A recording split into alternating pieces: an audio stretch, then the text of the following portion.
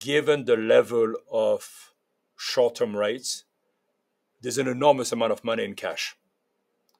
And people sitting in cash look at expected return. And maybe the easiest way I have to explain it is to take the American example.